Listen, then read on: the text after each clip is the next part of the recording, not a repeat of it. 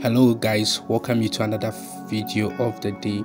In this video during uh, prophet lovy ministration uh, he made an appeal to the church and anybody who love the nation of america that they should pray for america that they should not be in, like the election should not be interrupted. Uh, so let's go straight to this video and listen to what the prophet of god said concerning the election of america. God bless you. Please subscribe Friends, I'm going to say this one more time for you to remember this. Pray that next year's election is not disrupted. Amen. Pray. Amen.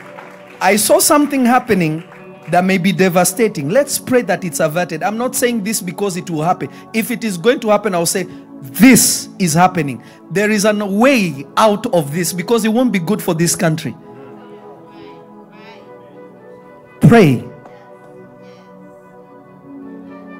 Pray. Amen. Amen. If you love this great nation you live in, pray. Pray sincerely.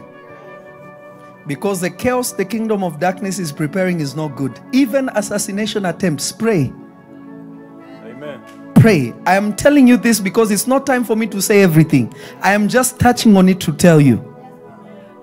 I myself, after today, I'm going for prayer to get all the details of next year.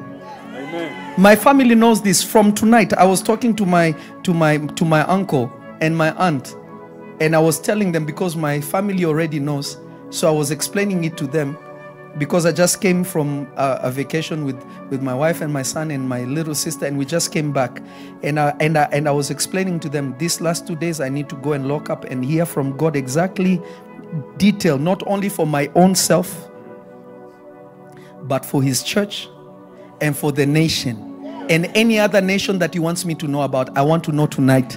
Amen. So I'm going to be away until the 31st. When I come to church, I'll be coming straight from my fasting room, coming to stand and to tell you God's mind. Amen. Amen.